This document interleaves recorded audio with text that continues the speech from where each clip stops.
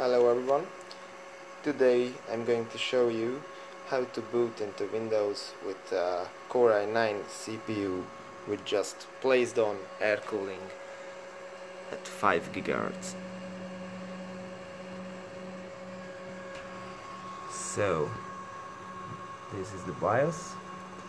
Let's see the settings. 5 GHz cache ratio 30 manual mode base clock 100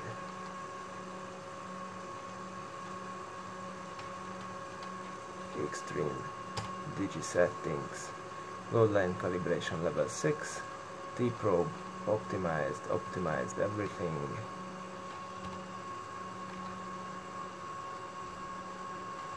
V-core almost 1.3 cache voltage 1 volts input voltage 195 memory is 17 because we are going on cache 12 VCC IO 1.2 system agent 1.2 PCH voltage 1.1 that's that's all settings what we need. Or actually this CPU needs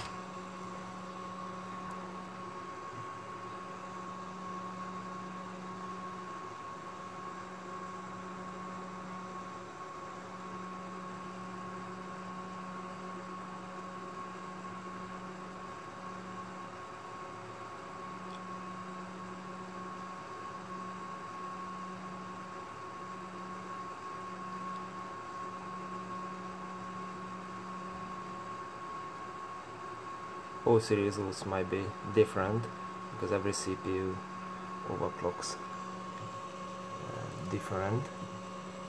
But this one is pretty pretty good one.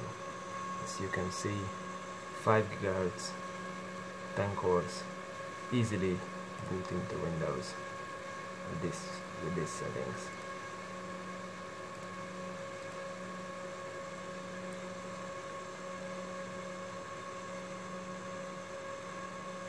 Okay, that was it. Thanks for watching.